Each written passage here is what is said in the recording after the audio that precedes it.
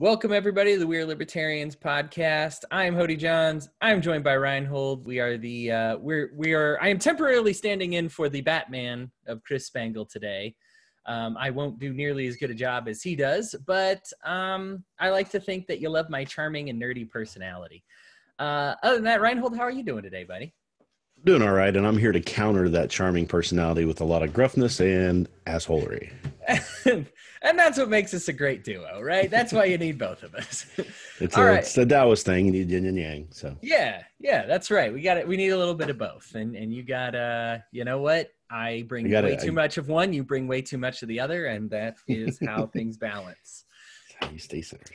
Right. The only other uh, Asian philosophy is to get rid of both the good and the bad, which is uh, that's just a rough way to live life. I think you just gotta gotta take a little bit of the both here. Not that not that there is good and bad. I don't know. This is way too much philosophy for a for there, a talk. there, there just have. is. To be honest yeah. with you, there just is. There just is. Yeah. There's.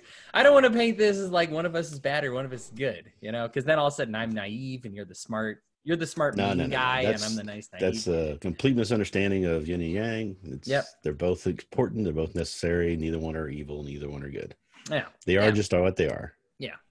All right, guys. Well, uh, the stimulus bill, the uh, CARES Act, is what we're going to call it. Remember how it was always Obamacare, and then finally, when it got passed, um, when it finally got passed, that was like it became the ACA so it's now the CARES Act. It was going to be the COVID 19 stimulus bill or whatever, but now it is finally the CARES Act.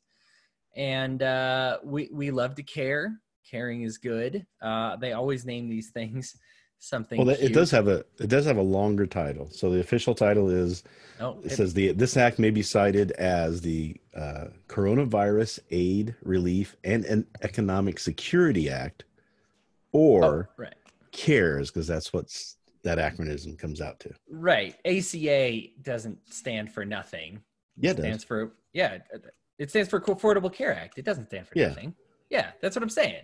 Oh, yeah, so this did is, stand for nothing. Okay. No, no, no, no, no. There, there's actually, uh, yeah, it's. They always uh, try to try to shoehorn in an acronym. Right. A very so. pleasant sounding acronym for sometimes things that are unpleasant. Look, I think uh, we can do some breakdown now. We can get into the if they should have done this, how much they should have done, how it's going to be done later. But it's passed. There's not much we could do about that. So let's just go ahead and spit well, some. President still has to. President still has to sign it. It is. I, he's going I believe, to sign it. He's going to get signed because when somebody threatened to hold it up for literally 43 seconds, he had a freaking meltdown. Yes, he right? did. So, uh, uh, also before we get started, just want to say this thing is huge.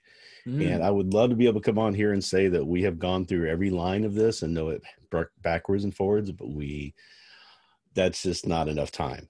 Even I don't know how the senators and the congressmen who voted on it. I mean, they're they're finding things out now, going, "Hey, wait a minute, what about this?" So it's going to be a fun time, uh, but we will find a, a few things in here that we can talk about. I'm sure. Oh yeah, it's it's not it is not even theoretically possible to read everything. They they even have it broken down in sections. I did everything I could to skim and scan and get what I could off of it. But I mean, journalists are still putting together everything. I mean, uh, to put it in perspective, the plans that they rejected were like 1,119 pages long, and this, this is this is a little bit long. Yeah, there's yeah 800 and something like that. So we haven't had time to even look at all these proposals they have doing but I mean, who are we kidding? The Congress people haven't either. They're just passing it or not passing it. Well, the uh, last uh, the last Robert Jordan book I read was like what, 700 pages, 600 pages, and it took me a month. Oh, yeah. I'm not going to get through this in uh, like three days. There's no way. Right. Yeah. And, and that's, uh, you know, if you fully understand everything, this is very, it's very dense. Obviously, the wording is all legalese which can be which is it's kind of like reading shakespeare. Like when you get used to it you get a little faster but at first you're like i i gotta go word by well, word right now. and the worst part is is they will say okay this changes the line in bill code number such and such. Well you have to go look that bill up to find out what they're even saying in this part of it you know? Yeah. Yeah, so it's complicated. Yeah, so you and I are going to break down as much as we can uh, in a couple hours here and, and provide as much information as we possibly can.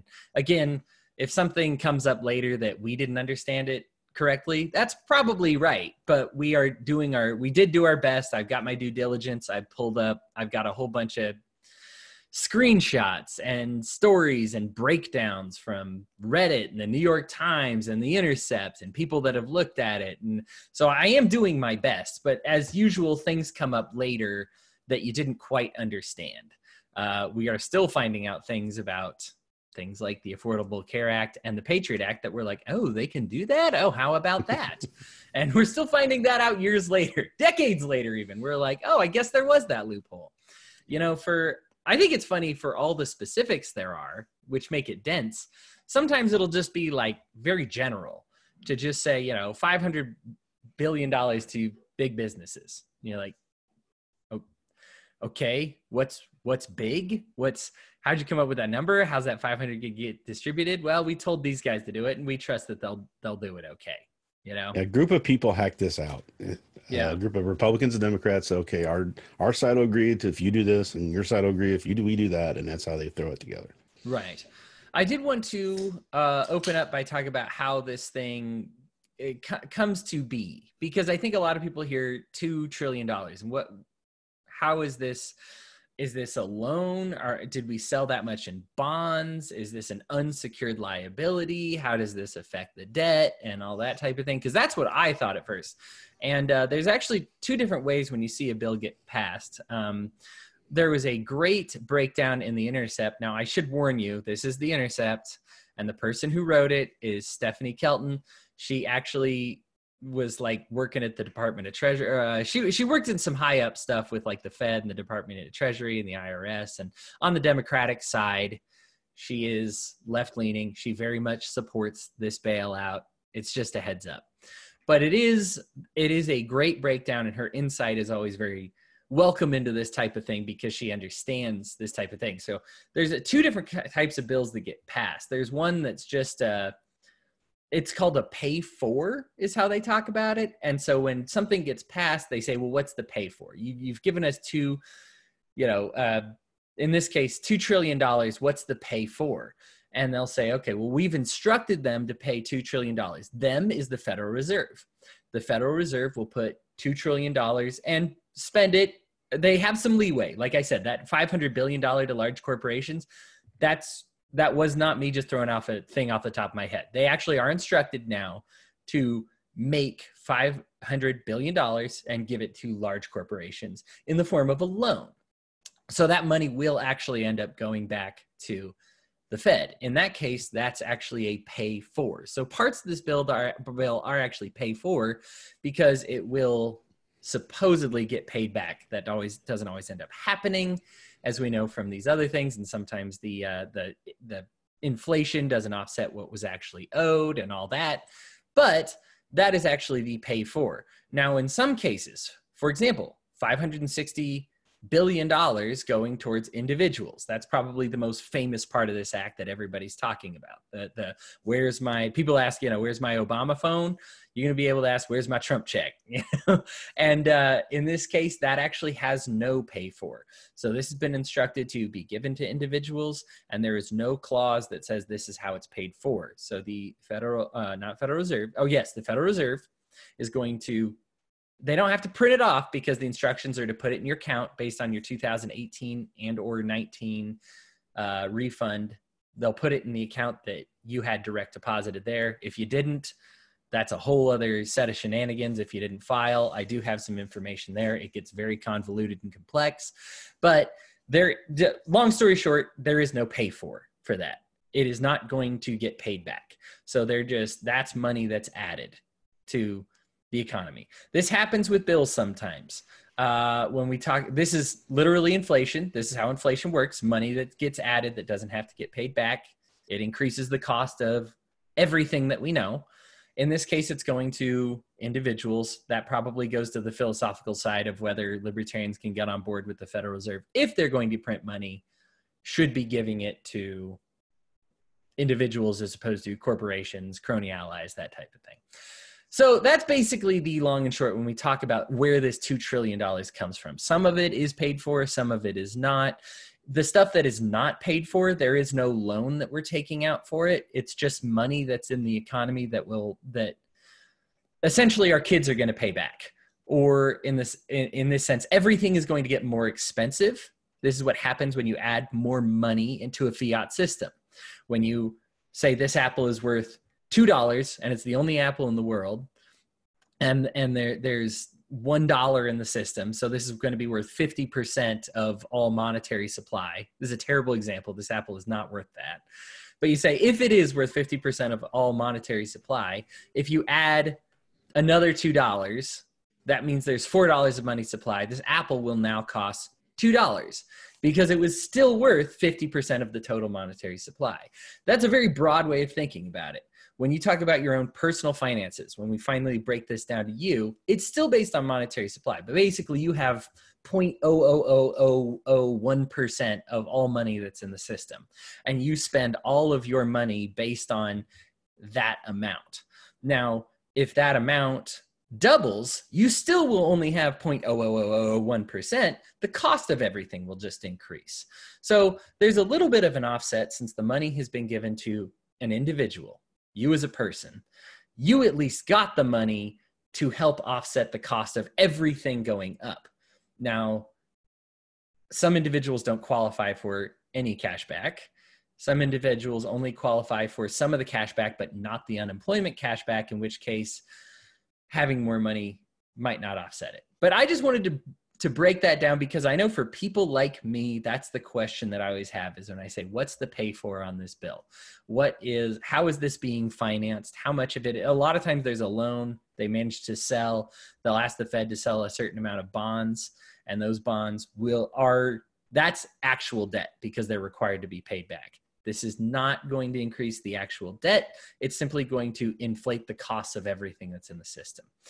Did I say that in a very dense enough way there, Ryan, Rhinehold? pretty dense way, but there's also another aspect to this too. Is the first line basically of this is that the um, the bill does not follow PAYGO rules. So uh, a while back, they I think it was 2010, they initiated a law that said the base that if they were going to have a bill comes out that spends money, they have to be able to say where they're getting that money from, whether it's this tax source or this tax source or how they're going to do it.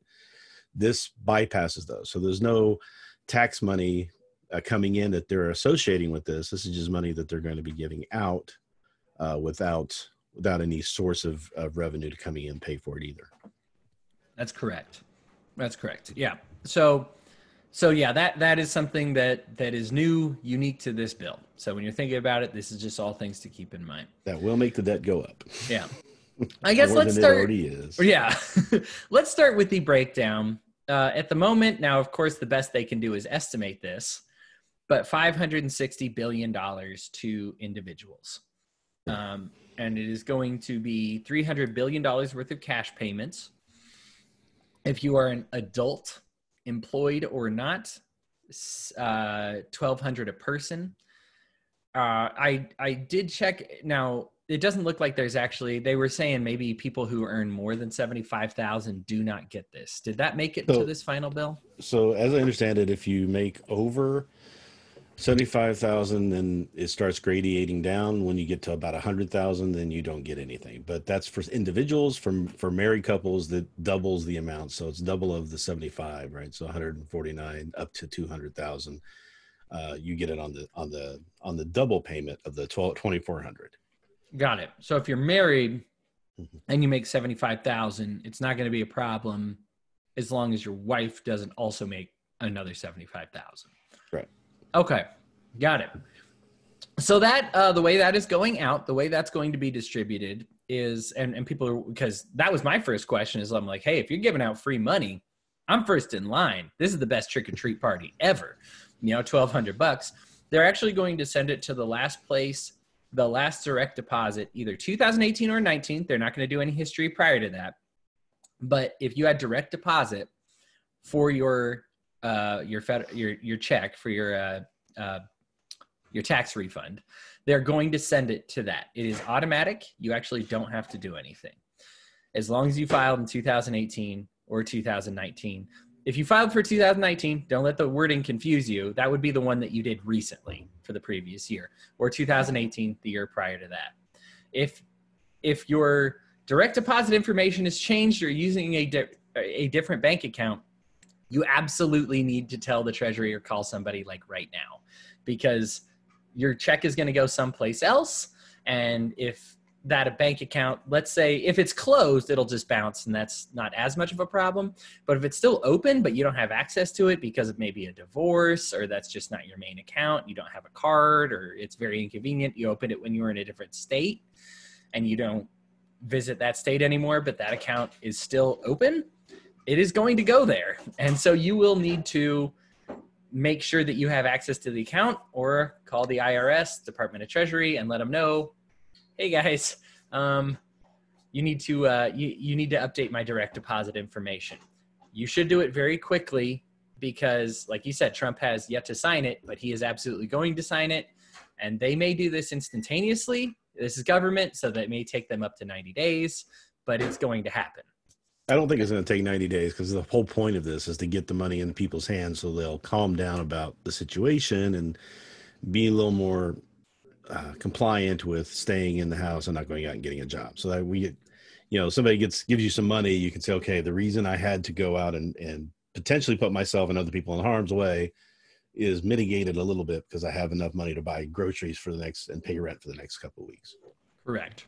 So they're going to rush that out. Right, and that's so that's 500 billions of it. The next part here is extra unemployment benefits, which is 260 billion dollars of it. Now we uh, we had a funny thing. We talked about a little bit Rhinehold the other day um, in our in our special chat. Sorry, um, that if you are if you declare unemployment, you get a certain amount. Everybody knows there's some unemployment benefit. Usually, it's very small, negligible.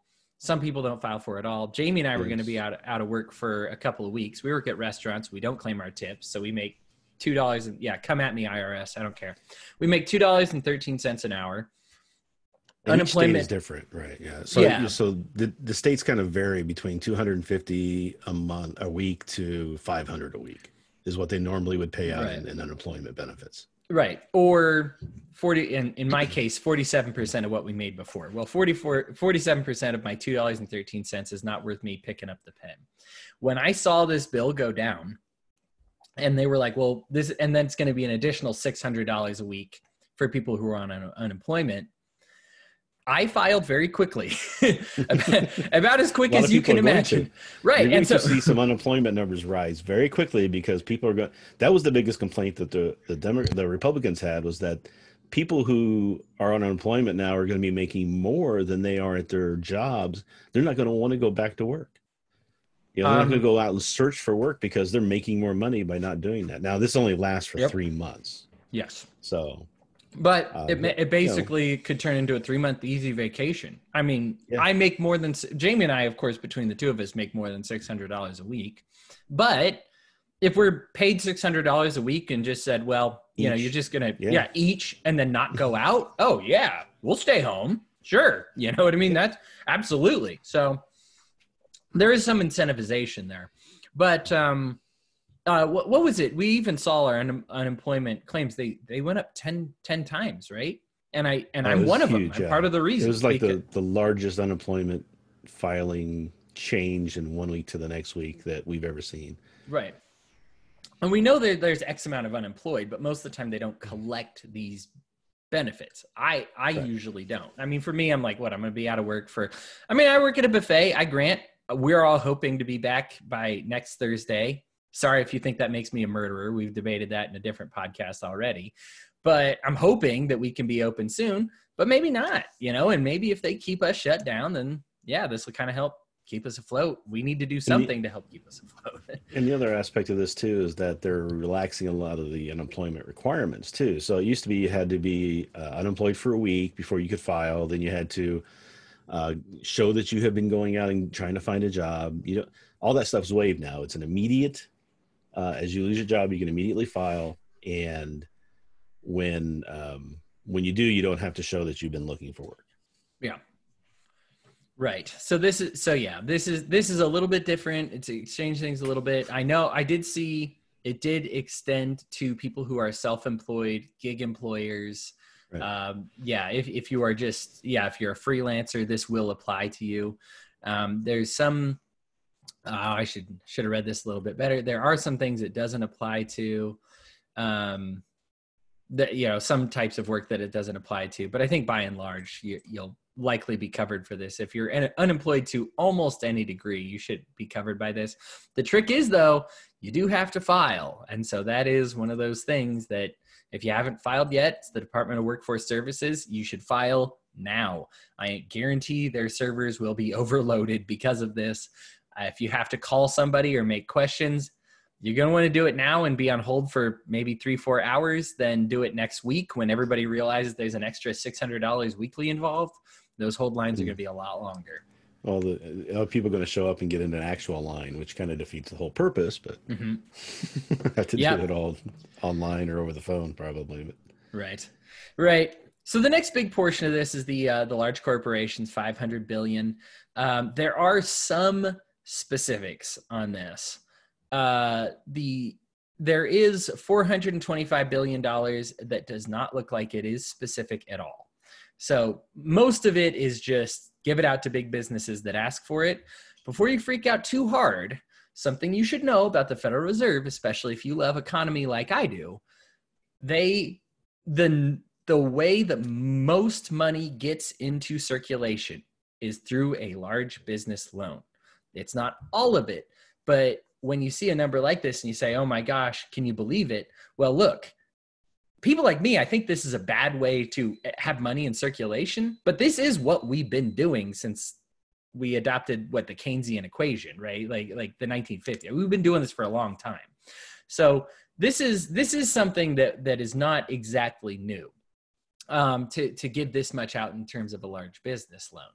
So what they will do, and this is again, this is a pay for. This does have an offset. Is they will give money to businesses at a very, very, very favorable rate, much more favorable than you could ever dream of. But it is a loan. It will have to be paid back to the Federal Reserve. Now, when you pay money to the Federal Reserve, you say, well, they aren't supposed to be making a whole lot of profit. They aren't completely nonprofit. They do pay like their salaries, but it's not some multi-billion dollar entity. Um, what this does is this actually gets money out of circulation that was into it before. So they they give you this money, it's in circulation, they pay it back. That means it's out of circulation. So 500 billion dollars for large businesses uh, helps them get ahead um, and and get some really good good economy going to uh, accomplish some new things. Almost all large businesses. It's funny we've been talking about people's personal finances and small businesses. Don't get me wrong; those people absolutely deserve to be deserve to be thought about and talked about. But almost every large corporation you can think of is operating on some kind of large loan. Now, you might say there's no way that this multi billion dollar corporation is functioning on a loan. They probably are. Because the thing is, it is better for a McDonald's instead of saying, hey, save up and wait. And when you have the money, we'll build a store.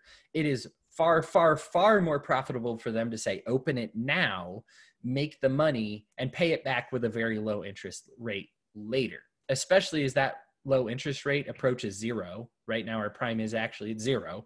So, you know, you're looking at a very low, you know, fractional interest rate. It is much better for them to open now and be making money the entire time. Otherwise, the time between when they've been saving money when they haven't been making any profit is much less than when they than if they'd been open the whole time and just pay a little bit extra in interest. So that is how the Federal Reserve operates. They always do this. This is nothing new other than it is a lot of new money all at once that they're asking them to pay. Um, before I get down into the nitty gritties of the large corporations, did you have anything on that, Rhinehold?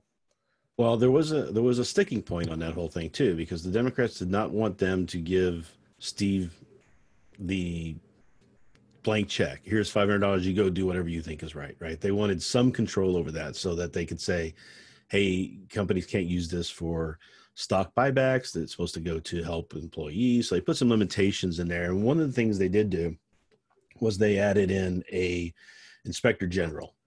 The inspector general is the one who's going to be responsible for handing out that information. And there's also going to be a um, committee uh, of various people uh, that are spelled out in there. A committee would be uh, providing oversight for that too, just to make sure that whoever the president appoints with Senate approval to be that uh, inspector general is is following through on what they believe should be the should be the uh, disbursement of that money. Right. Yeah. So there are some new there's some new positions right or wrong. I mean, it, it's it's a it's one of those like I don't want government to expand, but if they must expand, another regulator is probably good for them. Yeah, more know? inspector generals, more more uh, autonomous inspector generals, as yeah. opposed to uh, swampy bureaucrats, right? right, swamp rats. Yes, and I'm sure that I'm sure that somewhere in this bill there's the creation of some more swamp rats too. I, we'll get to the state and local government spending in a minute here, but. Uh, there is the biggest portion of this um, that is non-controlled. So we have the 500 billion dollars to large corporations. 425 is just going to go to large corporations in general. Specifically, the airlines are getting 58 billion dollars. Um, uh, almost half of it, 25 billion, is going to be wages and benefits um, uh, for passenger plane uh, workers cargo plane workers are getting another 4 billion contractors for airlines getting another 3 billion. And then the largest which is, and this is always the one that scares me the single largest budget item for the airlines on this at 26 billion is other. Obviously they've incurred a lot of other expenses. I'm not trying to demean what other means but usually when something is going wrong with government other is where it's at. Uh, in this case it's an airline. It is a private business that is heavily government subsidized and they have a lot of government regulations. So you can kind of in your own head say how much of this is do i consider it government or not?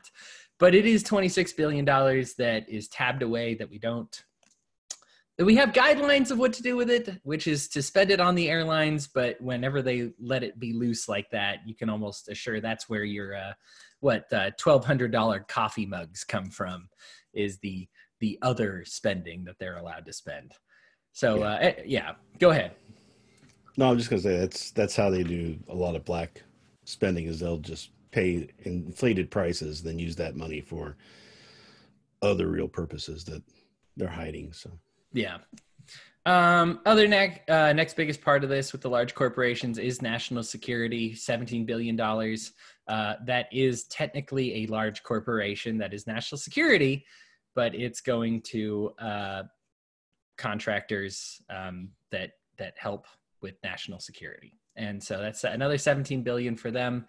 Of course, they are going. You know, you might look at this and say, weren't other you know why why didn't you specify restaurants have been hit harder than airlines why don't you specify them why don't you get a big cutout for them like you do with national security well restaurants don't pay millions and millions of dollars in lobbying money every year.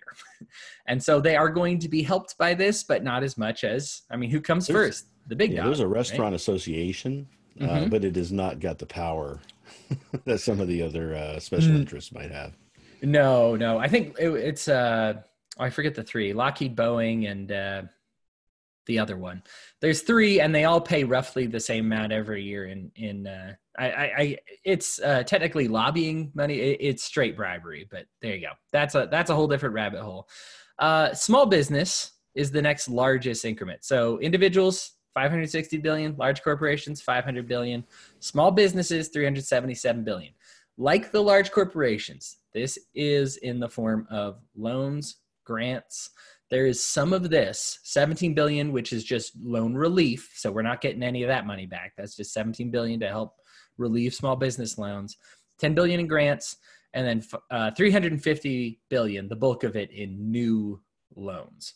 So if uh, I know that my state, uh, before the government even acted, promised to help. I don't know if this will be included on the federal level or the state level that we'll get to in just a second, but or, or if this will be consumed by that because it's pretty much the same thing. But if you have a small business and you look like you're going to go out of business, hey, I know what you really needed a new loan. you needed to you need a new loan. Now look, I get it.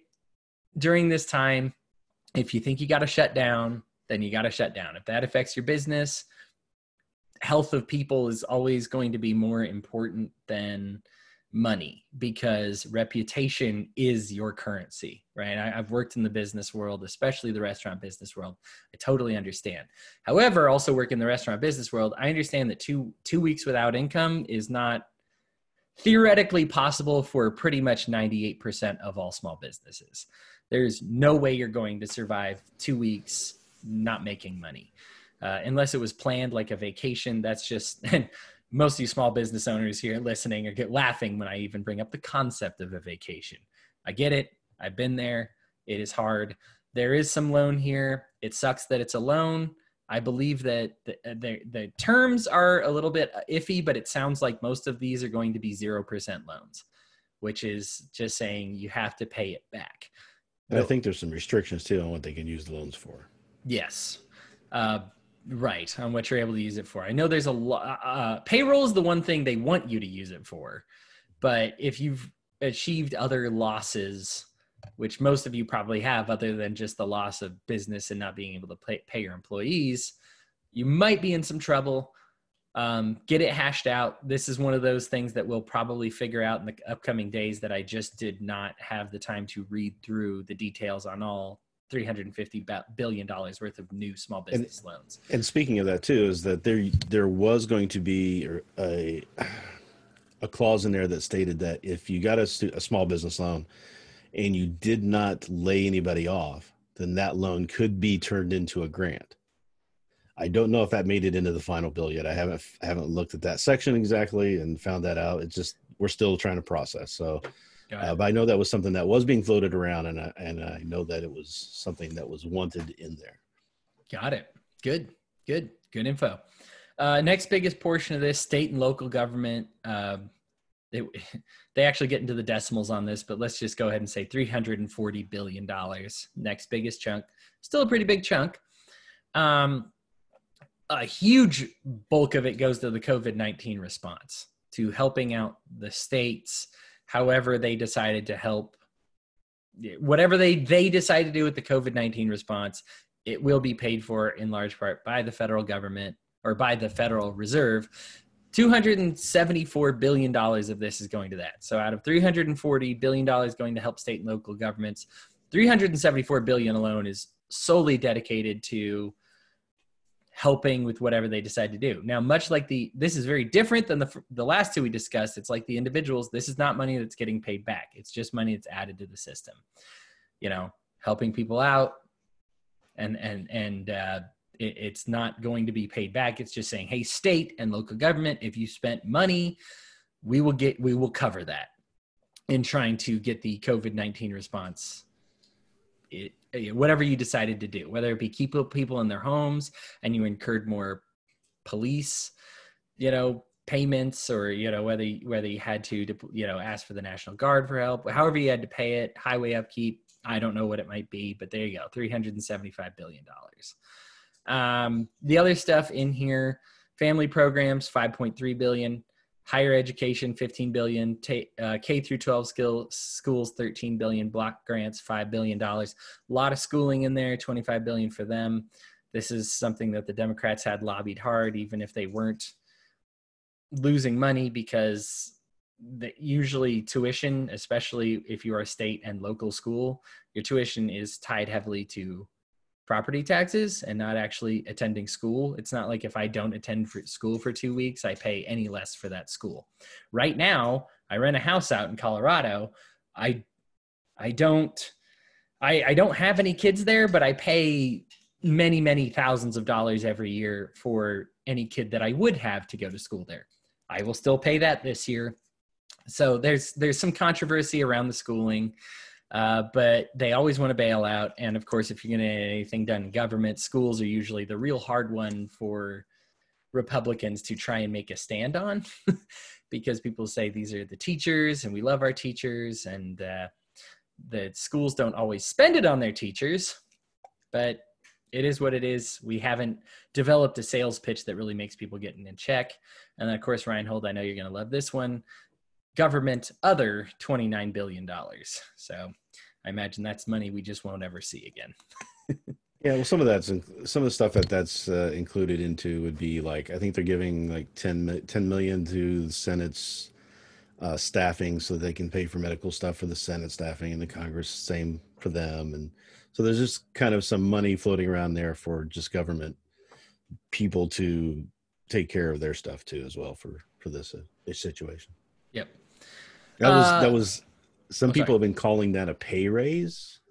Oh, that they okay. claim that there was a pay raise for the congressman and senate, but it is not true. It is not. It's not a pay raise. It's money going to pay for staff um, expenses for medical stuff and things like that. money for more stuff. So Because it would be unconstitutional for them to take any money for a pay raise until the next Congress come gets set. So and they'd never do anything unconstitutional. So yeah, they don't want. They, I don't think they wanted to take a chance on this bill getting thrown. right, probably true. Uh, public health, the next biggest one, 154 billion dollars. Uh, obviously, this is just we know what we're going to need. We need tests. We need uh, we need medicines that have shown to treat COVID 19, and we need Ventilators. and we need ventilators and we need masks and we need all that. And 154 billion dollars is going to this. Again that will not be paid back. That's just 154 billion dollars into the economy. Uh, student loans you've heard this was a big one. Um, we're getting kind of smaller now. I actually only have one thing after this but uh, 44 billion dollars into student loans or other. Um, those loan uh, those loans have been ordered to make it postponed. There's some things that did make it, something that, that didn't make it. So, for example, making it illegal for your internet service provider to cut off um, service did not make it. So you can get cut off if you don't pay for your for your internet, your TV, or your phone. And then utility providers, at least on the federal level, are still allowed to cut off your utilities if you don't pay that many many states I, they're regional i know that they're government controlled monopolies but they are regional and some of them have said that they won't cut it off and that's great but there is no law making it illegal for There's, them to there's no off. federal law right now. I think some of the states are putting something into play for that. Cor- right, correct yeah it's it's regional it's funny because i was in colorado as rocky mountain i think rocky mountain electric and i'm here in utah it's still rocky mountain electric that i have to pay but yeah so so it, it varies i know it's various monopolies but at the moment they are able to cut it off if they want you to.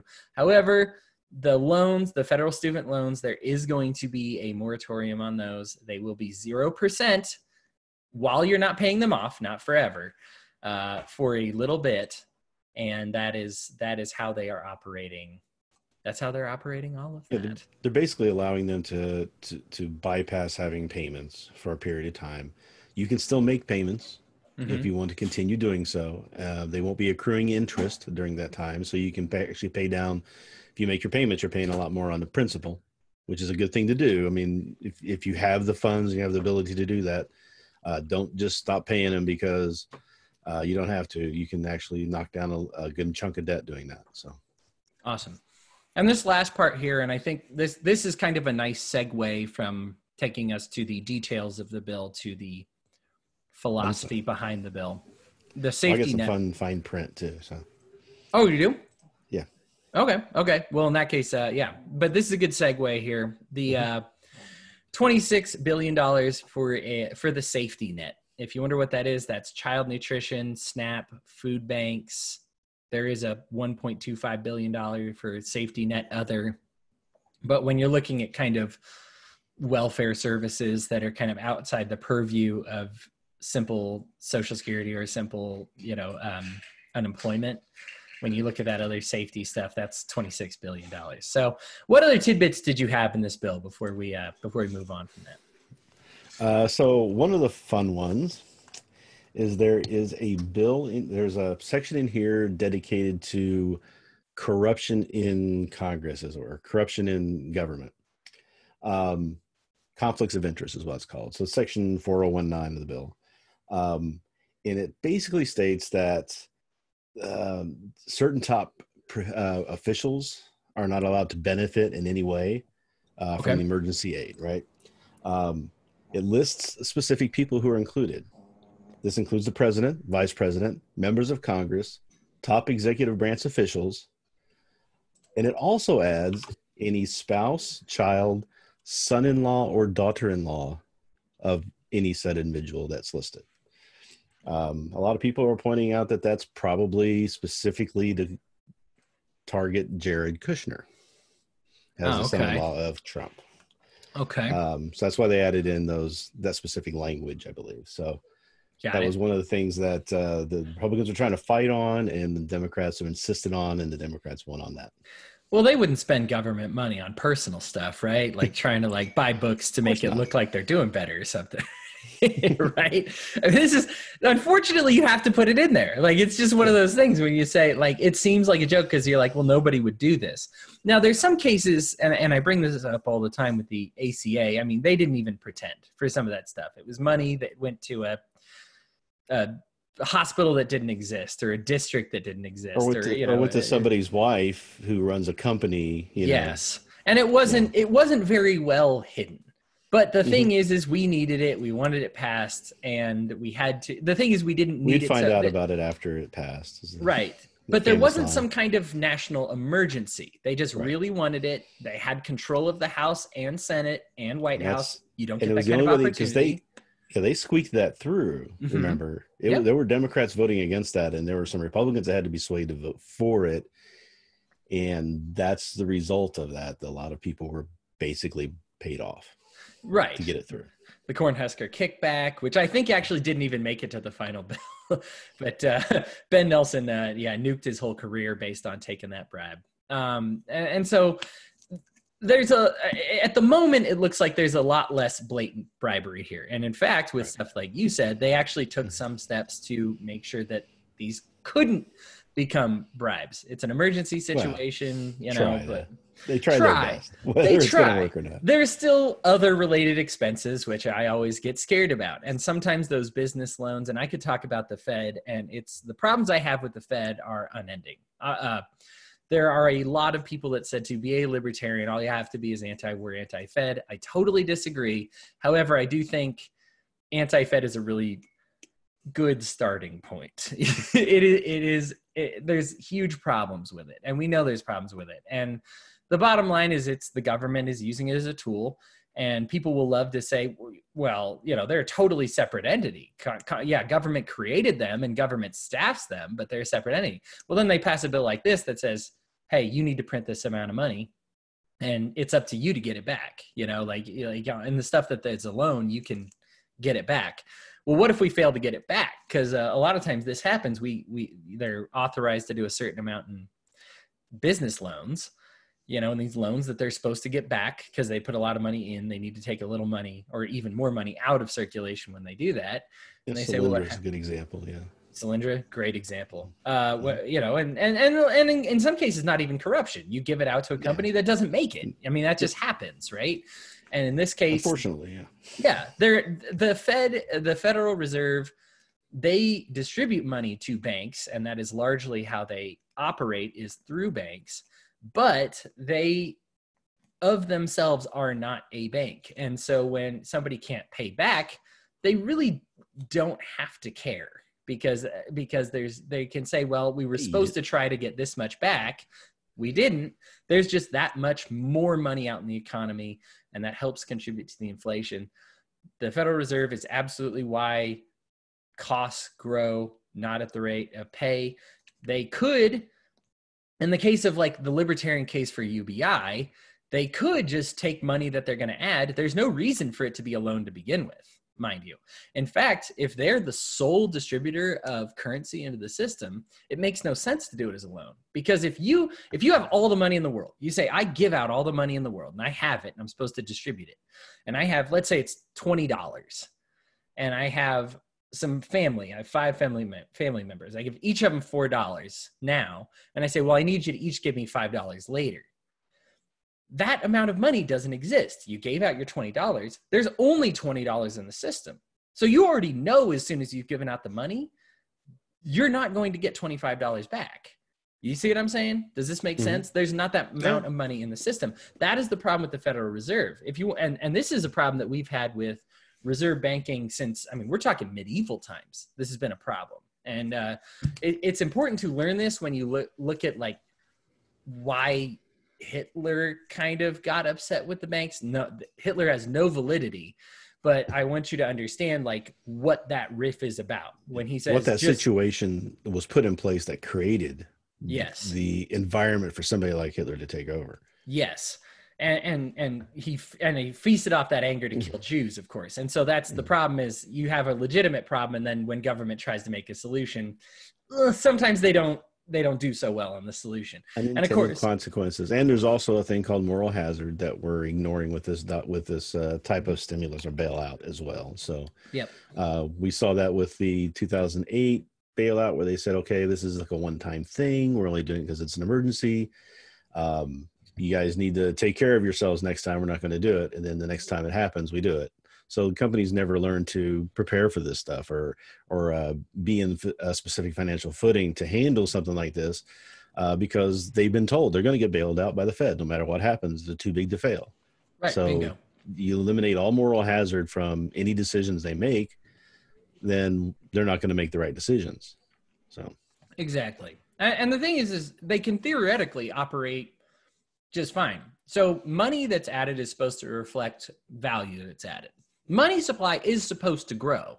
When we look at real, this is kind of was Mises was his bread and butter. Whenever you hear somebody talk about, you know, Mises, it is monetary supply, and it is mm-hmm. supposed to grow. The population grows. There needs to be more money the value of life grows. There needs to be more money. Of course, I get that. Money should always be getting added to the system based on these things. The trouble is, it's not added based on those things. And to further prove that it's not added based on those things, we will grow the economy by four tri- you know, trillion dollars a year. And they won't add four trillion dollars in hey it, you added four trillion to the economy here's four trillion dollars they'll say here's four trillion dollars in the form of a loan well the problem is is the value's already been added to the economy so it makes more sense to do this. They could do this just in kind of a ubi type of situation. Everybody gets the money. We have to have the we need this amount of money in circulation. Why not just give it out? Why do they only give it to these businesses and why do they only do it in the form of a loan? In the sense that even these big crony businesses that are doing unethically incorrect things they are still kind of have a gun to their head because the only way they're getting that money is to take this loan it's not coming out for free and and so this is this is the problem that we have with the fed all of the time it is more of that same problem i don't want to make it look like a new problem was created with this bill but it is more of the the same, same- problem Yeah, it's just the same we've always seen. It's just going to continue because nobody's stopping it. Uh, Right. And and the thing is too is that in the middle of an, uh, a situation like this, isn't the time to a lot of people are going to be willing to or have the uh, the fortitude to get together and do something stop it because there's people suffering out there right now. We want to help. i believe Um, 96 theor- 0 yeah. was how it got passed Ninety Yeah. six zero. Well, there. I don't know if it, it was ninety six zero on the Senate. On the House, I don't know if uh, there was one no vote. It was it was a voice vote, so it's hard to say. oh for real Yeah. They Oh. so yeah, they wanted to. They wanted Massie wanted to stop it so it was a recorded vote. yes So he put in a motion to make it a recorded vote instead of just a voice vote, Mhm. and he could not get a second. So all of it, it stopped of forty three seconds of delay into getting the bill passed. Let, I, let me put a pin on it because we should talk about Massie for just a second since we're on the subject. But I do want to let you finish your why it's not popular right now. Yeah, list and, and the whole list Well, of everything we've got with the bill. yeah, this is just some of the fun fine print things like um, there's temporary tax break for makers of hand sanitizer in here. Yeah. So apparently, if you uh, make like, let's say, you make hundred thousand gallons of of a hand sanitizer, you're paying up to thirteen dollars a gallon in tax on that. So that was the biggest detriment that people were having with making the hand sanitizer, making sure we had enough of it, is they were getting hit by it pretty hard on taxes. So they put in a um, a tax break basically for them for the period for the next three months to uh, not have to pay those taxes. Um, okay. postal service gets special loan help. Now, a lot of people are complaining about the postal service getting help. There are some caveats to what has been going on here that kind of makes it less concerning. Um, but you know they are doing less delivering of mail right now, so they are taking a hit on that as as well. That the money that's they're going to be allowed to borrow, it's a loan. It's not going to be given just to them. Um, the money that they're allowed to borrow can only pay for those things to help keep them afloat for operation costs. It cannot be used to pay off past loans or anything like that. They're not getting any forgiveness on any past loans or anything. So it's just to um, get them going. And the part of the caveat to that is that they are now being ordered to prioritize delivery of any medical products that come through the mail. So they're saying the government's saying we want you to prioritize this mail. We're going to help you out on operation costs in order to keep you floating through this period of time, so that those medical uh, stuff, the medical products can still flow. Right. They Um, force but you you to do additional priority mail. It makes sense that, Yeah. that that's more expensive, so they're helping pay. So they're going to, but they're but they're saying they can't use it to pay off of the loans or anything like that. So that's really what it's for. Yeah, and and not to be defensive of the post office here, they're poorly operated. They have a lot of problems, but I think with the issue with the post office was when everybody says, "Well, they need to close some," sure, but not mine, please. not not my local one, please. You know, and, and uh, they are heavily subsidized, and so sometimes you do see the. You can expect some increased costs when something is subsidized when you get rid of the subsidy. Now you'll as with the case of all subsidies, it will make up for it in the grand scheme of things. But you know, do you want that kind of turmoil right now? You know, there will be some disruption. Now, I, I believe me I- being being the one true libertarian, I'm ready for the turmoil, but I understand why other people aren't. Well, yeah, and, and the thing is, is that the majority of people are the ones who make the decisions, right? So, um, and we have to kind of convince them, and you're not going to do that in the middle of this type of situation, but um, it's something I think we need to focus on after when we are in the good times, and I think libertarians try to do that, but the problem is then is that things are great. Why are we going to mess with it? You know, we've been saying for years, hey, this economy is supposedly so great that we should be paying back some of this debt. Um, so that we are in a better position in case some emergency comes up that we can have to deal dip back into and everybody's like nah we just keep going like we are. And you know that's where we're at now. That's what it's this is this is the reason why we were saying that. And now that this has happened we have a better story to go back and say look now that things are better let's get this stuff fixed. Yeah, so i do have Yeah. one more hit it. fine printy thing. Yeah, um, and this is another one that the uh, Republicans are a little upset about. Uh, they got pushed in there because the Democrats. So we we kind of talked off offline before about the Pelosi bill. We talked about that last uh, two nights ago. Um, the reason she did that was to get them because they were balking on a lot of stuff that the Democrats wanted. So she put out that bill to say, "Hey, look, you know, it could be worse." and so they kind of caved a little bit on some of this stuff. what a way to save insider Um, trading. But one of the things listed here is um, a caveat. So, not too long ago, uh, the president uh, issued uh, an executive order that basically stated that no federal money could go to any sanctuary cities. Uh, this bill has a provision in there that says he cannot do that for this money. Oh, I nice. think they Okay. were wanting to. They were wanting to say, "Hey, you know, this is federal money; it's supposed to be given out, but you're a sanctuary city. We're not going to give it to you." They wanted to do that. The Democrats stopped them.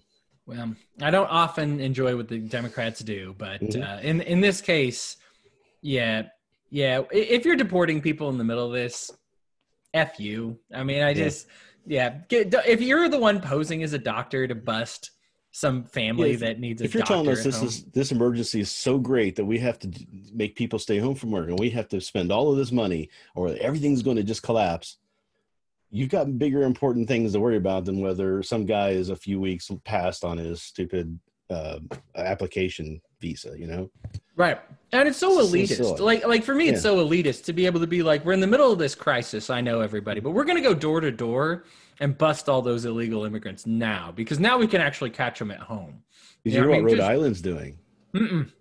they're going door to door to find any new yorkers and quarantining them it's just some like are we are they like re, re like reigniting like that New England New York They- feud or whatever? don't. They're going. They're going door to door with National Guard to houses that may have New York people living there or staying there, and they're going to identify if they're there, and they're going to quarantine them.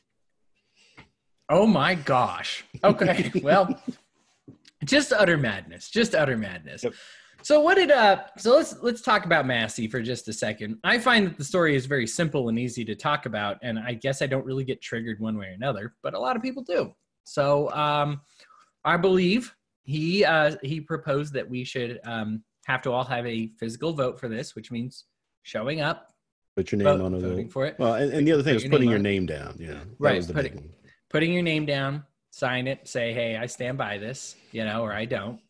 And he received no second. So I, I did color this, chalk this up to something I learned today. I guess you need a second to make a a motion like that. Nobody So- else made the motion. The Yeah, if you haven't the- been to a Libertarian Party convention I have not. and Robert's rules and other things like that, it's it's pretty interesting all the things you have to go through. But there is there is a rule that you have to have any motion that's been offered has to be seconded by someone else in order for it to be voted on by the body. Right. So that was one of the um, fun things about the last convention. There was a, a person named Aaron Starr who uh, went and was trying to. We were coming back in from a lunch break or something like that, and he didn't think there was enough people in there for a quorum. So he went to uh, Nick Sarwark and said, you know, got on the mic and said, "Hey, I don't think there's a quorum here. I'm wait. I think we should wait until everybody gets here." And there was some back and forth between that. And finally, um, Nick says, "Are you are you challenging my decision that I think that there's enough in here?" And he said, "Yes, I am." So he said, "Anybody want to second it?" And there was no second because people were sitting at the mic yelling at him, "Just just shut up and keep going," because everybody was just wanting to get moving forward with business. So.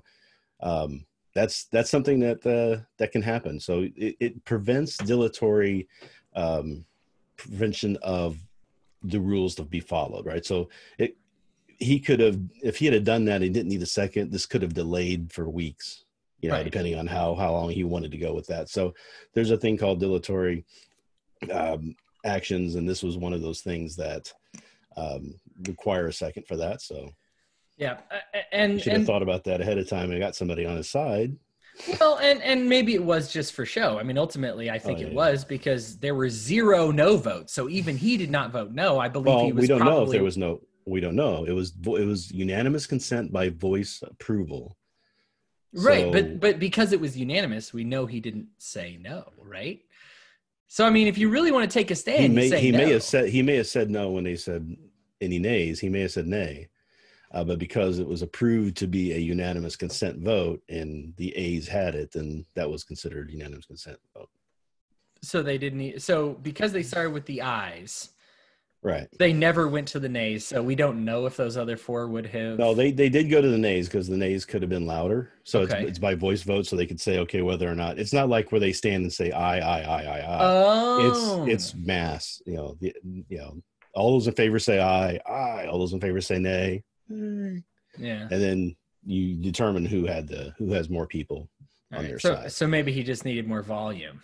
Okay, got it. well, all right. So, but but in all likelihood, it appears that only four people were unheard and did not vote either way, or, or whatever the they case. i don't think they showed up i think they were in ice quarantine or isolation or something Okay, so I, I guess for me, like if, if I was looking at somebody who really wanted to disrupt the system, I mean, you, you, I guess not voting no wouldn't have mattered. I guess you'd be overwhelmed, but I don't know. I think for me that says more to me than like, hey, can we do this and can we write our names down on this? You know, that type of thing. yeah I, I guess I, I get I get the have been- reason for it now. i think a i think a recorded vote should have been called the mm-hmm. problem was is he was trying to call that there wasn't a quorum which is uh, a little bit different because there are a lot of people who i mean the house had kind of said okay we're adjourned for business for a while and now they're rushing back to try to get there to to for their vote Yep. because they knew they had enough people that were going to vote for it a lot of them were just like saying eh, we'll just let them vote with what they have but you have to have a quorum and that's what he was trying to do was force a quorum vote in order to ensure that enough people were there Okay, to uh, accurately uh, represent the people that they're supposed to be representing gotcha. It was small. It was a hiccup. Yes, it's a. I guess it's a hiccup that if it got seconded, could have, like you said, delayed it for weeks. It didn't happen. Uh, it delayed it for, I believe, all of 43 seconds is what I've 43 heard. seconds 43 seconds. somebody somebody on twitter said hey quit talking about his sex life And so Donald, and so Donald Trump, of course, immediately comes back with, uh, "This guy hates the Second Amendment. Thank goodness he got overruled." Um, This is the person this- who uh, made bump stocks illegal and who said he was going to uh, right. take the guns first, right? That's Right. that's the person who's calling Massey, who is pictured in fo- footage with you know shooting guns. Oh yeah, the he's guy's uh, holding like an AK forty seven. Like I mean, he's like he's super pro gun. Like That's, it's that's the like, uh, that's the environment we live in right now. Like, oh, I guess because you wanted to delay a vote for 43 seconds, you must hate gun owners. Like, shut up, dude. Like, it, it just made no sense. That, like, I, I get if you disagree with Massie, but like the clapback from Trump is like, what? Like, this is just being goofy, man. Like, Well, wor- worse was John Kerry agreed with Trump on it Oh yeah. and was calling him a a, a masshole is what he called him. Yeah. Do you see guy? Oh yeah. You- well, he called him an asshole and a masshole. Guilty of being an asshole. Hashtag masshole. Yeah. You know what? Honestly, y- Republicans, if you're out there, like, just think about it for a moment. That Donald Trump and John Kerry are in agreement on something. Maybe. Maybe you've lost grips on what it means to be a Republican if it means ever agreeing with John Kerry. I have a lot of things that I regret in my life. I worked on George W. Bush's campaign. I wish I did not. However, I do not regret for one second any of the bad things I said about John Kerry. The dude deserved what he got. And uh, yeah, I, I, and so with Trump and Kerry kind of in the same swift boat on this one, it makes uh, it, it, makes Massie look like he, you know, he was the one. He, he's the thorn in He's the, sane the- one. Yeah. he's the thorn right i mean for me he looks sane it makes it you know but of course you know when when finally we get all this bipartisanship right we got democrats saying trump's finally being a leader on this we got trump, uh, Trump saying these guys are fine. whenever whenever there's bipartisanship to this degree, we're getting screwed, and we know it. Always has been that way. i hate bipartisanship on on principle you know to just say they're in that party i'm in this party because it creates tribalism or, or I guess I hate no anti-bipartisanship. I guess Yeah. that's what I'm saying. But when it, but but whenever we actually get part, whenever they actually come together, it's over something really bad. But mm-hmm. here it is. Here we are. I'm not saying I, the government caused this, and I guess this is where we segue into the philosophy. The government said, or I guess nobody caused it. It's a virus. These things happen in nature, right? Unless you want to look at that Wuhan facility They- and maybe they were what- doing something there. But Yeah, what they did was they created the situation where it made it harder for us to respond ag- adequately to Yes. this happening. Yes. They created many difficulties, and I'm talking about governments all over the world. I mean, you, the U.S. obviously. I mean, we were we were talking about whether you know gun owners have mental illness, and then it's like, oh wait, an actual illness. Crap.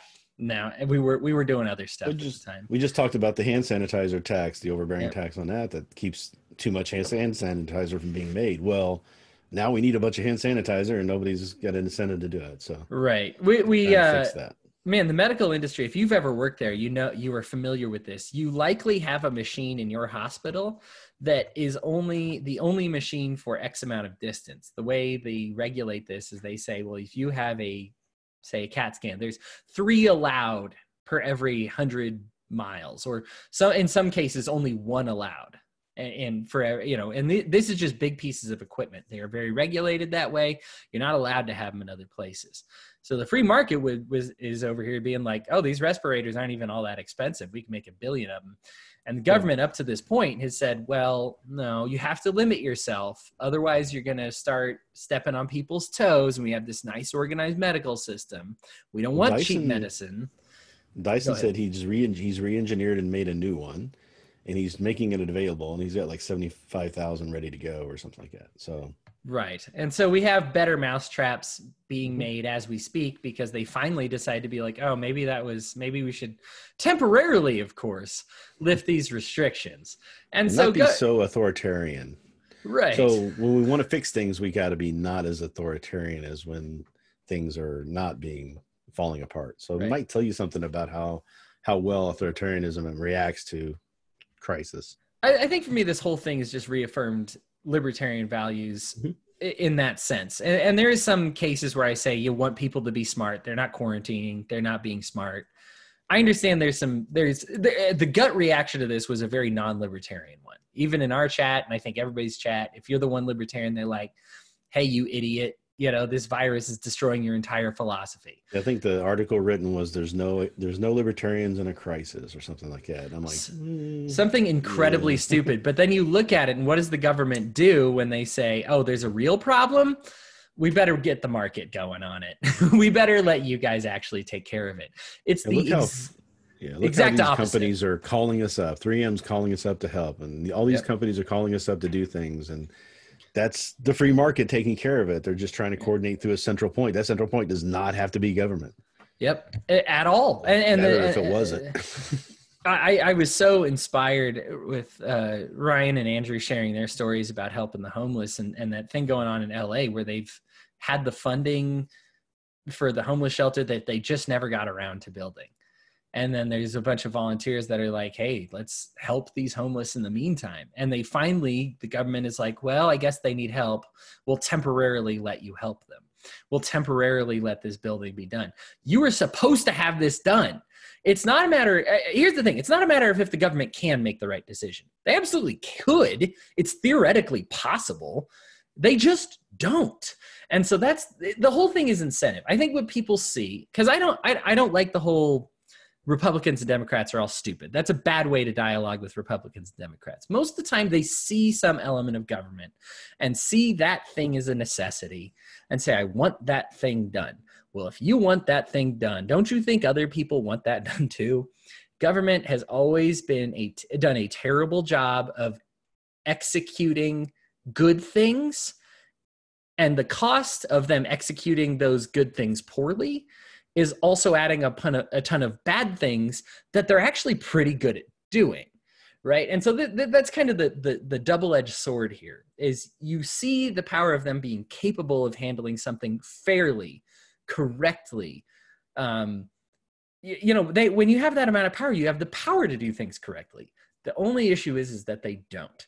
Did they have the power to do something about this epidemic that would have been responsible fair would have taken into account your human right as well as other people's rights to live, they absolutely had that power. I don't think there's any doubt about it. I mean, they're proving it right now. They can keep whole cities in their homes and keep you from leaving and shut down your business and shut down your church. And if you have that kind of power, you get you get the power to do anything. I mean, printing money into the economy, what power don't you have? They had all the power in the world and they just botched it. And this is case in point what libertarians have been saying for years they that the government does bad does good things badly and does bad things really well. And the coronavirus is just the epitome of that. And this is this is something that we look at this government created a problem. What's their solution? Kind of a crappy thing. We got to print a whole bunch of money off. Um, we can get in the weeds on if it's socialism or not. I mean having a centralized federalized system kind of makes it more fascist than socialist, but it's all bad. I mean, it, it it's it, it's not good. And is it a problem? It, it's it's something that might be necessary, unfortunately, because of the situation that they created to begin with. When you have this type of economy, I think a lot of Americans need this type of solution. They put me out of work. I would be in trouble if it wasn't for the help of some of my family and friends. I received some of that help from my family and friends, so I am okay. But not everybody has that, and it's just it, and so it's one of those things that, that if the government is going to put you out of work forcibly, then they need to be responsible for cleaning up their mess. Unfortunately, cleaning up their mess is going to hurt a lot of people. Your children are going to have to pay more because we printed up all this money. You are in the immediate aftermath going to have to pay more because there's more money now in the supply loans are going to come out. Guess what? When you go to a small business and they've taken an additional loan to stay afront, what do you think happens to the cost when they, you know, uh, stay afront, stay afloat? When they have to take a loan to stay afloat, what do you think happens to the cost of purchasing from that small business? What do you think happens to the wages of the employees who work at that business? What do you think especially happens to the wages of that owner when they have to take out another loan? all government solutions are going to hurt somebody. We can argue about it being necessary right now or not based on the situation that they've created. But this is kind of case in point for why we need to not be in this situation. I feel that is my rant. Rhinehold, you've earned some speaking time. Well, I mean, I agree on that. The the whole point of good government would be to put us in a situation so we can be healthy to respond properly to some sort of uh, situation like this, right? So some sort of uh, emergency catastrophe, something unknown, unseen, and and you're told that you know by people who are trying to teach you to to be more financially secure. You, they say you should have two months' salary put in the bank. You should have prepared for not having you know any job for two months, or uh, make sure you have food stocks and things like that, just to prepare yourself for stuff like that. And nobody would follow it. You know, look how look how this is going on, right? Uh, well, the government needs to learn that same lesson, right? We er, we've been talking about for years about how the new thinking is that debt's cool. That's good. That that's a good thing that we have debt. And I'm like, the problem with that is that you're putting yourself at a uh, razor thin line uh, that a lot of companies will work, try, larger companies will try to run as well, but they put them in a razor thin line, and then something comes up, they can't respond. They can't do anything about it.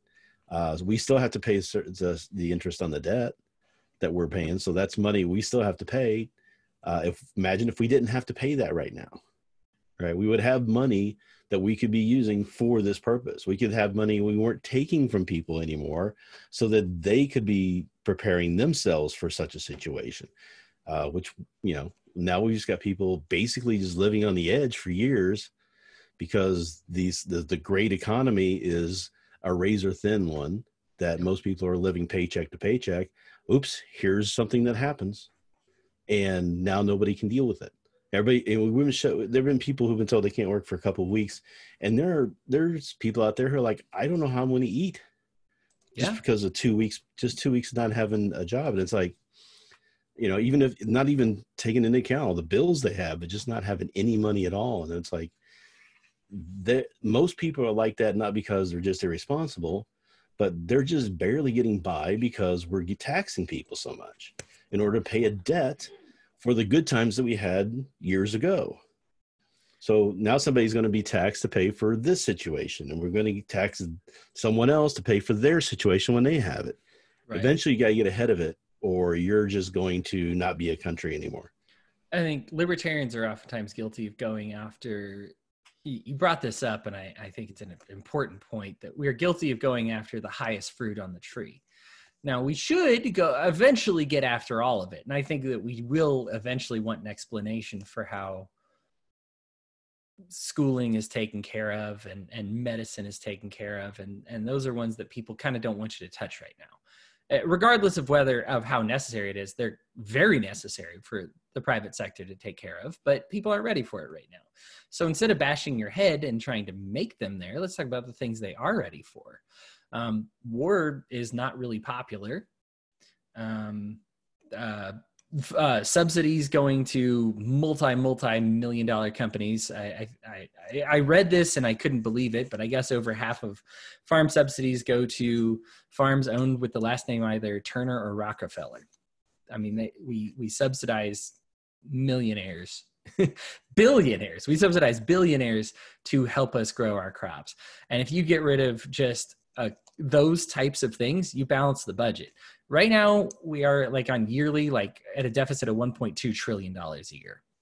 And like you said we even if we don't get rid of everything that libertarians or anarchists want to and just downsize the entire thing we'd be way better prepared at this type of thing if we weren't spending this money on and i'm not talking about eliminating the whole military i'm just saying the that let, let's go for the low hanging f- fruit first let's talk about the stuff when the military spends uh, they were the ones, the Department of Defense, that spent the twelve hundred on coffee mugs that I talked about, and then bought a, a whole bunch of them.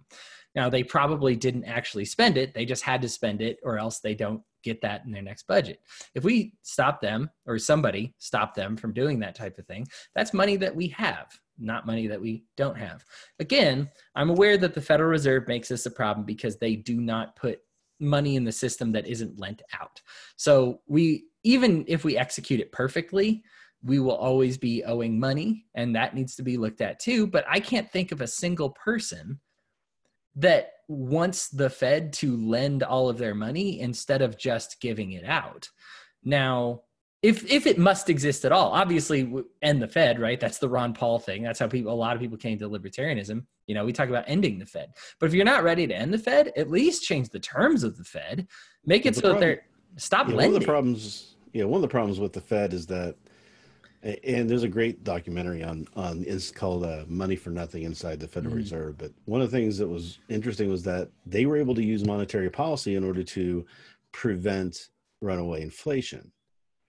And then in the 70s, they were tasked with their while we were trying to eliminate poverty, they were tasked with um, also you need to um, make sure that unemployment stays at a certain level well, the problem is that the things you do to regulate inflation have an opposite effect on what you do to regulate unemployment, right? So there's a stop, basically a stop button and a go button, or a pedal if you want to, like a car. So, right, you know, you you're you're basically what we're doing now is we're riding the brakes while pushing down the gas to try and make it just right in that little sweet spot.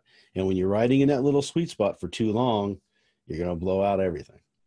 Right. I mean, is, I mean, you've kind of given a great analogy for how bubbles happen, right? There's mm-hmm. a there's a cost that we feel is right for your housing to be, and then when the market says something else, or not even the market, when just something happens that makes it so that less people are seeking home ownership or more people are seeking home ownership, you take your little nice car that's at that right speed that you want and you either rip off the brake pedal or you rip off the accelerator and something crashes through the windshield or crashes into the wall in front of you you know? Mm. And, and and this is just how all of these bubbles happen by saying we've forced it to be a certain thing and we feel that that's the right thing for most people and, and and maybe they're right maybe they're wrong maybe you think housing is where it should be right now but ultimately the market doesn't want it there and you need to let the market shift the Fed does not like that shifting stuff. They everybody talks we, about this. They want to see stocks gradually increase. The little mouse steps always up. We have not seen this market free to operate as a market since 9-11 and I before might, then it was iffy but i mean so you know volcker did a great job in getting us back on track after the um, the great stagflation of the 70s, right? So Volcker came in and he says, I don't care if interest rates go to 15%, 20%. We're going to do what we need to do, and it's going to, we're going to ride it out and we're going to get ourselves back in financial uh, stability. And they didn't realize that the interest rate was going to go to 23%, 25%. I mean, it did. Yeah. And people were upset. There were people who couldn't build homes anymore because nobody wanted to buy homes, and and they were mailing bricks in protest to the to the White House. And he stuck his guns out, and by 1984, we had gotten our financial situation so well done uh, that Reagan won in a landslide. Yeah. Right.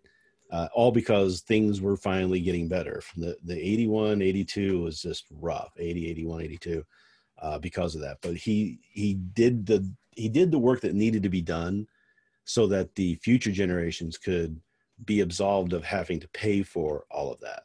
So yeah. we took care of it. We resolved it. Uh, we fixed the problem from the 70s and the 80s, and then things got away again because, you know, they that's there's no there was nobody else to stand up and say no, we're going to take this on, yeah. and and be responsible. We're just going to pass it on to our kids. Right. Well, and it, and it is very. Uh, I think doing the right thing is oftentimes chaotic, and like you said, uh, uh, he had to do something that was kind of counter counterintuitive to what a lot of people wanted him to do, but it ended up being the right thing. Now, one person should probably not have that volume of control. I, I know for me, I looked at his, the history of the prime rate when I went into lending because I was like, it's always somewhere between one and five percent you know like like what's the point in even you know it'll be a big deal when it goes up to 3.3 or big deal it goes and then i look back in and i was born in 84 and i look back in uh, uh, carter years right? It was like 77 78 79 and it was at like 72 percent. I'm like wait wait a minute. You're telling me if i had $100 in a savings account for one year it would be $172 at the end of the year? And they're like yeah that's right that that was true for a little while in time. And I'm like, wait a minute, you're also telling me if I had a loan for a hundred dollars, I would owe $172 by the end of the year. Yeah, that's true. I'm like, dude, that is bananas. Like I can't even imagine that. I think most people couldn't even fathom something like that. Well, and think about it, with with that situation though, you have much better flexibility to have larger GDP increases. We had mm-hmm. much bigger GDP increases. Uh, everybody talks about all the GDP is going up two percent, three percent. This is really great like yeah we used to have seven eight percent. I don't know right. what happened there you know uh, because it was money was freed up because uh, things were more financially stable and there were yeah. there were chances to save. You could save money. Right. Uh, there was a dis- disincentive to borrow too much money. Now there's no disincentive to borrow money and there's mm-hmm. no incentive to save it. To save it. So absolutely. guess what happens? Everybody's everybody's working on credit I mean, your average, what I even had this pulled up in the other thing. Uh, average debt per citizen, 63,000. Average saving per family, 15,000. And debt per citizen is 63,000. I mean, that includes like kids and stuff. I mean, they're in debt before they're born. You know, it, it, it's just one and of those things that we. How much is that? Is the national debt that we yeah. are putting on those kids too? We Now, just if added another six thousand dollars on that. Know? Right. If you're big about the logistics of like Austrian economics, there is a time for lending and there is a Mhm. time for saving. And what he and you know what some people have to do is say, you know, it's savings time, it's lending time, but no one person actually has to make that decision. The way markets kind of work themselves out when you look at that stock market, I think it's funny that people freak out when stocks go so far down because our economy is hurt. Well, that's the time when you, average Joe, can start affording these stocks. You can never afford them if it just goes up and up and up and up and up. That's the that's that defeats the whole point of the stock market. It was always supposed to be able to go up and down. The the issue is is sometimes things are worth less and when they are worth less, that makes it easier for the little guys to get in not only in just buying stocks, but literally creating a business because suddenly the value of the big dude that you're going against has crashed. And when he's crashed, that's your chance to weasel in. Now, if all that big dude does is get bailed out, nothing is learned. You know, not, nothing is gained, and the small guys can't catch up to the big guys. I mean, this this is why I am sympathetic to. I have a great deal of love for my Democratic friends. They usually don't understand much about the Federal Reserve, but this is the diagnosis of the problem is that there is a big disparity that is getting larger between the rich and the poor. Well, when you have a bill that is willing to spend, let me go ahead and go back to it, uh, $877 billion bailing out businesses and mm, a lot less to bail you out. What do you think is going to happen when the rich got a when when the rich people who own successful companies get a bailout that is larger than the poor people who own companies that are struggling along? Do you think that is going to increase or decrease the disparity between the rich rich and the poor in the United States? I'm not one of those guys that says I, I, I firm. This is my issue with so- socialism and stuff like that. I firmly reject that flattening is best for everybody. That that everybody should have the same amount of money. But I think a lot of Democrats like that are rational headed don't even want that. They just want to be able to say, I know that I work really hard and I'm not making what I deserve. And that is absolutely true. Even if you've only earned one legitimate dollar in your entire life, because of bad policies, that dollar likely should have been at least $3. We are rocking our laborers and rewarding our cronies. And that is, I, I guess for me, that is kind of my my my bone to throw to the Democratic, not party because they are all scumbags, No, but most, Democrat, most people who are Democratic people. Yeah. yeah, most people who are Democrats are just Democrats because they're anti-Republican, and they see the poor people in the country getting squashed. Yeah. Um, now you've got socialists who are trying to push and say, "Oh, this is the solution to that: more government invention, more more government that's causing this problem uh, will fix it." And it's like, no, that's that's not how it works. Right? But even So- a lot, I mean, I, I think you need no look no further than the Biden versus Sanders primary and see how that went to see that even a lot of Democrats aren't that far ga- gone. Yeah, yeah. You know? that's the thing. Is a lot of people are thinking, when's that going to happen? When the uh, the progressives basically take over the Democratic Party? And I'm like, you guys aren't there yet. I mean, I mean- they've made a lot of strides, and I think libertarians should learn from how they achieved a lot of the success that they have now, Mhm. because we seem to do the exact opposite, and we instead of incrementalism, we want to do all overnight. hmm Um, which you see which works. You know, the, Repub- the libertarians are still trying to get a seat at the table, and the progressives are now, deli- you know, pushing a lot of this around. But yep. the Democratic Party is not a progressive party uh, as a majority just yet. So. Progressives were operating and i and uh, i dislike most of I- i'll just say most of the progressive points but they've been working on this since the 1800s i mean this is this is not this is something that was laid down as a blueprint that they said okay and then here's what the next generation's going to do and the next generation's going to do and the next generation's going to do. And and this was their blueprint you know i love that libertarians are so passionate. I love liberty loving people. I think it's an honorable goal to want the world set free in your lifetime. It might not happen. And that's you're I, I I'm not gonna say that's okay. Anybody not free, I am not okay with that fundamentally. But we need to be able to say, hey, the world's not free. Here's the steps to get there. Maybe I'm okay with that happening in 200 years as long as the world is on a path to get set free. Let's let's be more free tomorrow than we were today, and let's take that as a win, and then work on getting more free the day after that. Let's right. not try to make this whole big chasm step in one day. Let's get there, but let's get there by getting there a day, a little bit at a time, every day, and we'll get there. Even the the best revolutions in history when you just look at i, I love that we and i know we looked into this at we're libertarians and had a show on it about why peaceful revolution tends to be more successful than violent revolution. But we also looked at the natures of both violent and peaceful revolutions and why they were successful. And there's a huge amount of tact behind them just a huge amount of thought. They don't just preach like you can easily become a zombie and npc for freedom. It is a good thing, but I still want you to be able to be there because you're using your own mind, not because you're just like freedom good, government bad. I don't want you to just hear the word government and get triggered and start twitching out. You know, you need to be able to have a rational bottom line is everybody else on this planet besides you and a handful of people accept that government has a role to play. If you don't believe that, like me, then you're you need to start convincing them as opposed to just making them feel bad. Because what man i love that we're on the subject because what happens when you say um, when you call all democrats bernie bros? Well we've already seen the democrats say bernie sanders is too far left. But when you start pushing them into that camp oh bernie bro bernie bro you push them farther left. We saw this happen with republicans. I mean there was a million stories with this when you say what happens when all you do is call republicans racist like an idiot? Oh We've seen that happen. You get Trump and stuff. Do you want Republicans to be as far right as Trump? Probably not. Do you want them to be doing these? I mean, Trump's not even far right. I mean, let's. He doesn't know what he believes in.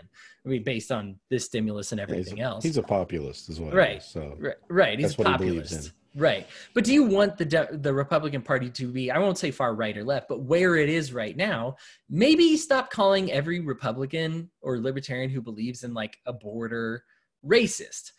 I am super anti-border, but if you if you start by calling them racist, you're not trying to evangelize anybody or change anybody's mind into doing anything. You're just trying to be an asshole and you're doing that correctly but that's not going to make that not only are they that's going to distance the democrats from the republicans that's going to distance you from them and the only way we are going to succeed is if we bring more of them on I hate Donald, Donald Rumsfeld, but you go to war with the army you have. And right now, we would lose with the amount of troops that we have. So if you want a war, which may come eventually for you liberty loving people, if you want a chance to fight for it, you need the numbers to fight for it. You need the situation to fight for it. And right now, you are just fighting a losing battle by just spouting off about how bad it is and not trying with everything that is within you to make the most compassionate, compelling, intelligent argument that you possibly can to bring people in to liberty. I think the reason that this stimulus bill, eh, it's important to talk about during the stimulus bill because this is where they all came together. This is where our politicians came together on spending all of this money. And it's because of a problem that they kind of came together in creating. I mean, we're talking global coming together. Governments all over the place coming together to say it's not a big deal. This was not just Trump. I mean, there's tons of governments that were like, not a big deal, not a big deal, don't worry about it. I mean, China kept this under wraps. Some people are now saying maybe for years. I guess based on the models that we have, possibly years that they knew about this virus. And what they say, not a big deal. Don't worry about it. Don't worry about it you know if you start if you start focusing on these things and trying to solve the problems it's just going to create more problems. Let's, and now let's let's save some money by getting rid of the the uh, pandemic task force. Don't need yep. that.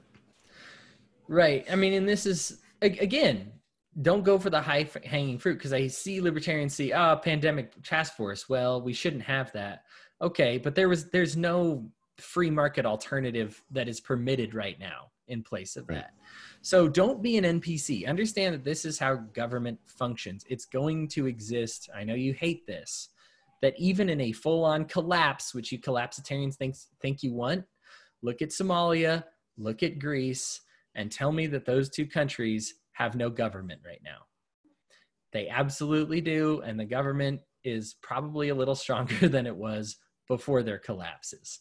You know, it, it, it, what we had was a collapse and maybe an opportunity to step in and be liberty minded, but because there was no culture for it, there's no culture of wanting liberty, people didn't build it back up. You know, in Somalia, you kind of had a fighting chance. There was like a small pocket of of anarchists that were there was four fighting factions, and that was easily the smallest faction, and not even not even like close they could have multiplied their numbers by like a hundred and been the size of the third largest faction in Somalia. I mean, there is just not a culture yet of loving liberty. So use these moments as opportunities instead of droning on like an NPC and saying, stimulus bad, fed bad, explain why. People have a lot of problems right now. I am sure if you're listening to this, the virus has impacted you in some way that's probably negative either by the health of a family member or by your financial situation or by digging into your fund your retirement funds or savings or whatever it may be. And you are not alone. Everybody had a problem. The government kind of created the problem and now has presented a solution that is probably as bad or a push or a wash on the problem. But the thing is they push for a solution because people wanted it you need to make them want your solution and see it as a solution libertarians get all brutalist because we believe in individualism. We say this is, you know, you're all on your own on this one. I couldn't think of anything further from the truth for liberty because we need community. No one survives by themselves. That's just not the way society works. We're not animals. Even animals form packs. We just form communities based on individuals instead of forming individuals that best fit the mold of the community you absolutely still need to believe the value of community. And just because it has the word com in it isn't a reason to go all freak out and think I'm talking about some kind of communist society, which is something that almost all libertarians don't want, right? And not get so triggered by those that do that you allow it to dissuade, to, to, to make your whole message fall apart. That we love community, we love society. We simply believe in shaping it in a way that's best for the individual instead of allowing these societies to shape individuals in ways that are worse for them. And this is so important because then we can begin on the solution and say, what would you like to see your community do if there was some type of pandemic like this? Because you have a ton of options. You even have the government option. You can still get forward, get together and say like, yeah, we'll pool all our funds and just print out a whole bunch of money and and give it all away and shut people down and make sure they don't go out outside of their doors. Or you could do the other opposite of the government solution, which is absolutely nothing. Have fun on spring break, go kiss your grandma afterwards, lick a whole bunch of toilets on airplanes. Both are pretty bad solutions, but at least you could find a community that matches your solution the best solution is probably somewhere between those two. But does the government ever do anything that is a rational thing in between two sides, or do they normally push for whoever is in power's side to win? And that's probably what they do. It's just what we recognize and what we know to be a fact and I think this is, like I said, this is important to talk about because I know we're supposed to be talking about stimulus right now in this new package. We're going to find out more about that in the coming days. But we need to understand how this came to pass. How did we get to this point where we're doing what Venezuela and Nigeria did and the Weimar Republic did that failed? Why are we doing this? Because we didn't have any other choice other than this government choice and the, the fault is still on them. I don't believe in this moral, like, oh, you libertarians didn't fight hard enough it's a fight that we shouldn't have to fight. Yes, everybody should be free. Everybody kind of knows that, but we're not. And so what we need to do is act like we are not free, understand we're not free, and help others off of the plantation. When we wanted to end slavery, good, liberty loving people created an underground railroad and a way out. You need to be the one that offers the way out, not just saying, man, you're still on that plantation Sucks, bro. Shouldn't be working for that plantation owner, bro. We know that government will act poorly, just like plantation owners would, if their slaves decided to leave. And if their slaves even decided to ask nicely if they could leave, they would suffer. Their families would suffer. You need to be the one creating an underground railroad. You need the one be creating a solution. Those are kind of my final thoughts on Ryan Rhinehold, and and you can take as long as you want because I'm aware I just had like a long speech there, but uh, as long as you want for your final thoughts. I I, think probably be close to wrapping it up here. I, my thoughts are are fairly much the same. I mean we we've got to uh, get to a place where we can effectively change people's minds and hearts. Most people want freedom. Most people want um, things to be taken care of, but they also want to make sure their neighbors are taken care of. They want to be able to make sure that they're going to get up and have a job the next day, and they don't know of the solution that's going to do that. And if they've been told of a solution, uh, it sounds far fetched. They want to see it proven. So we have to be able to get some things in act to say, okay, look, this what we said is working let's try a little bit more of what we said. And we're going to get more people to say okay let's give them a shot because they're actually getting things done. And this this situation has proven that what we've been saying is working because we're pulling back on government regulations. We're pulling back on what the uh, government is limiting companies from doing and people are responding in a, in a positive light. Let's keep on that. Let's show okay now that we've seen that that's worked maybe we can talk about a, a, CDC that's not politicized, a CDC that is actually operation outside of government, and we can rely on it to give us the right information instead of always questioning it because of who's in office at the time for partisanship or political thoughts. Um, so when when you see people who are uh, in the other party or in the party you don't like uh, it doesn't necessarily mean that they're that far away from you. They they probably think that the problems are the same as the problems you think they are. They just don't realize the solution. Uh, their solution is flawed, uh, and we just need to explain to that. And that's when your ideas win. Win on ideas, not on trying to bash people's heads in with a brick. Yep. You know, you don't you don't tie a t. Uh, um, you're not going to succeed if you tie a uh, taxation is theft T-shirt around a brick and hit them in the head with it, that's not going to work. You need to convince them uh, through through thought, and if you can't do that, then get somebody who can and find and point people to people who can, and and just try to get the message out there. And that's really all I had to say about that. Yeah, I, I, I love it. I think uh, when you talk about the ideas, they're not just hypotheticals. We are we have history that vindicates these ideas. If you care to study history, and you and I have just been talking about this whole time over and over. There are private companies that are doing the right thing when everybody else is doing the wrong thing. This is your chance to point to those companies and say, "You want the solution? There it is." And in in many cases, you can be the solution for somebody to say, "Well, who would get my groceries? Who would do this? Who would do that?" Man, right now that's you. Who's going to run these blood drives? Who's going to house these homeless? We have people on this network showing that they will be the ones to do it when government fails to do so. I just think, uh, yeah, I, I, love this whole conversation with you, Rhinehold. I appreciate it. I know that we are acting quickly. It's not even signed yet. We don't have we don't have all our cards out yet, and I'm sure more is going to come up that we're going to say, "Oh, I wish I could have talked more about that, that, that." But uh, we'll, stay. We'll hit it again, yeah, in the future. I'm sure we'll talk more about this. Oh yeah, two uh, trillion dollar spending bill. I mean, I, we're not going to talk about that it ever. Might, it might come up again. yeah, maybe, maybe. You know, at least in 40 years, we'll be looking at uh, why our names are next to the uh, Weimar Republic in Venezuela and Nigeria. We'll be like, oh, I get it now. So it'll come up. It'll come up anyway, not to be doom and gloom on you. This, I mean, we've been doing this for a long time. Like I said, it may, it'll catch up with us eventually. Hopefully not this time, but we'll see. Uh, guys, you have a good night. Thanks for tuning in to We're Libertarians. Patreon members, thank you, thank you, thank you so much for keeping us afloat. You guys. Before we go, make yeah. sure uh, Liberty and Chill is happening over in the uh, We're Libertarians Discord. So if you're when done here, uh, if you're watching live right now, if you're uh, if you want to keep going, keep talking, we're going to be jumping over there, uh, where the party's already been going for about an hour and a half, and uh, uh, we'll hope to see you then too. Yeah, if you're not on the We're Libertarians Discord, it is very active, and uh, you get the opportunity to do Liberty and Chill. Are they doing it pretty much every Friday now? It seems like. Yeah, well, it's every Friday, but since we've it's in person every Friday, but this right. shutdown, we decided to start doing it virtually. So we're doing virtual uh, Liberty and Chills every Friday at seven.